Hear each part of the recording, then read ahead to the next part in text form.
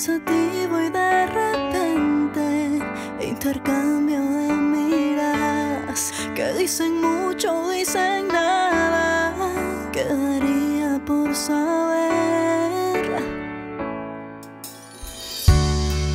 Es como un solo respiro que se adentra en mi